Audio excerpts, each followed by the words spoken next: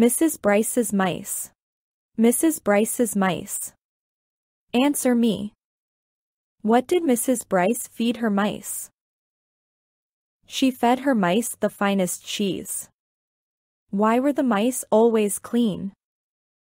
Because Mrs. Brice washed and dried them. What were the 24 mice doing when Mrs. Brice played the piano? They danced around her. What was one very small mouse afraid of? He was afraid to fall between the keys. What did Mrs. Brice do in the morning? She did exercises. How many mice did Mrs. Brice have? She had 25 mice. Who kept on sleeping in the morning?